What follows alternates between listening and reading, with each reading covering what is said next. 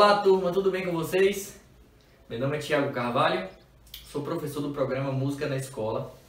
Vou tocar uma música no teclado e volto para a gente bater um papo musical.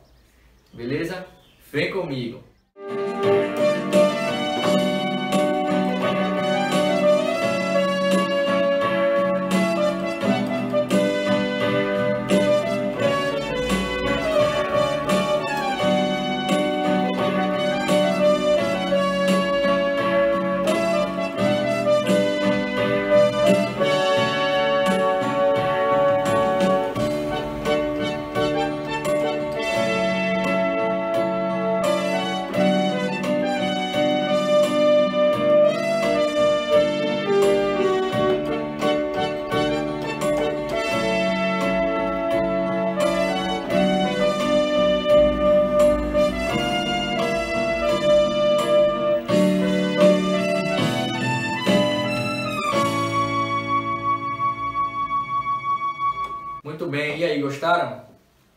Eu toquei a música do grupo Melim, o nome da música é Ouvi Dizer.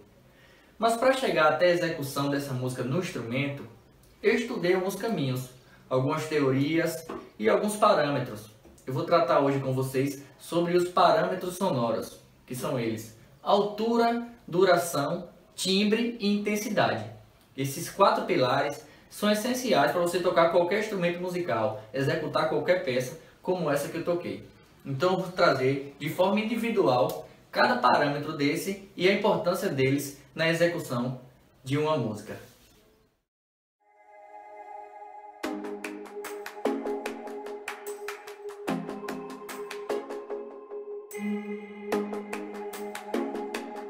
Vamos começar pelo parâmetro da altura.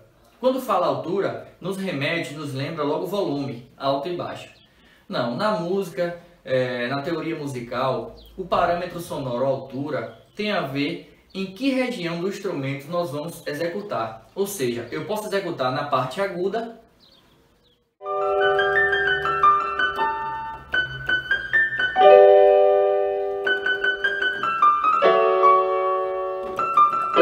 ou também na parte grave.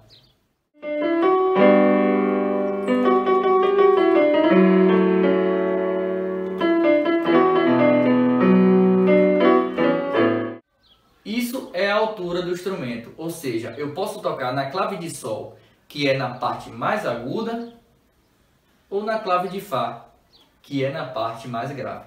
O segundo parâmetro que eu trago é a duração.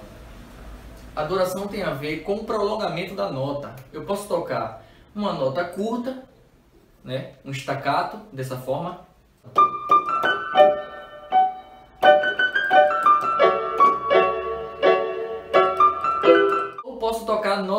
longas, que demore mais soando o tempo. Você vai sentir que a nota vai ficar mais duradoura durante o tempo. Dessa forma. Mas...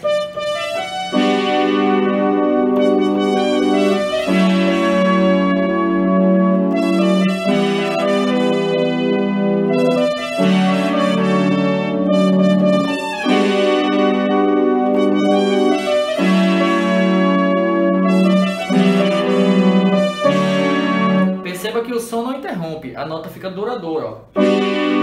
Soando.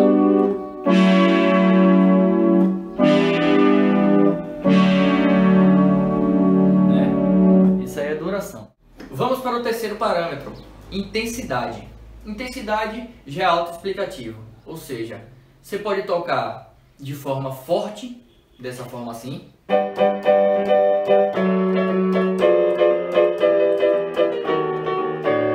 Mais intensa ou de forma fraca, suave, para a nota soar de forma mais leve, dessa forma aqui.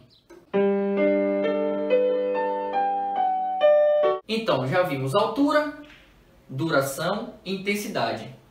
O quarto parâmetro é o timbre, ou seja, a característica de cada instrumento. A minha voz tem um timbre, pela minha fisiologia, pela minha corda vocal, a sua voz aí em casa já tem outro timbre. Então, é o que ele identifica. Por exemplo, um violão tem um timbre diferente de um acordeão. É, um teclado tem um timbre diferente de uma bateria. Cada instrumento tem seu timbre específico, é o que caracteriza cada instrumento. No caso do teclado, ele pode simular outros instrumentos. Eu vou dar um exemplo a vocês. Na questão do timbre, é, como eu já falei, é característico. Eu posso tocar aqui o piano. Eu posso tocar também um efeito.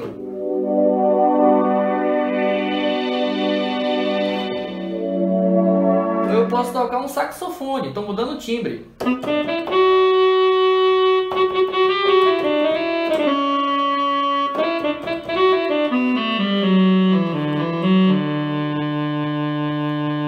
Ou um acordeon.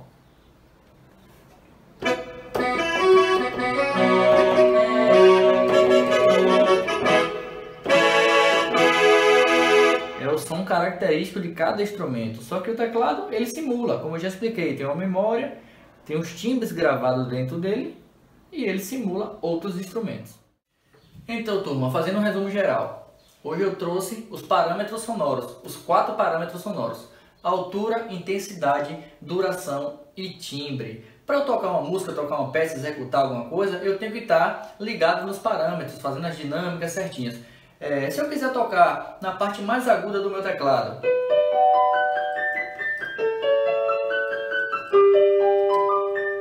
eu estou utilizando o parâmetro altura. Se eu quiser tocar na parte grave, grave, agudo, isso é altura. É, intensidade, eu posso tocar mais suave, a música mais suave.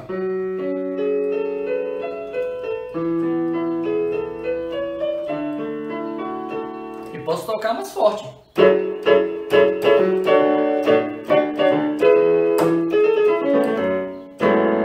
Intensidade, forte e fraco.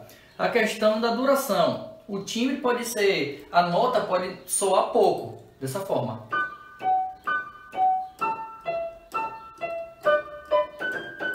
Você vê que ela não está cortando, a nota não está soando muito tempo. Mas se eu, se eu trocar o timbre e colocar, por exemplo, esse eletrônico, ela vai soar.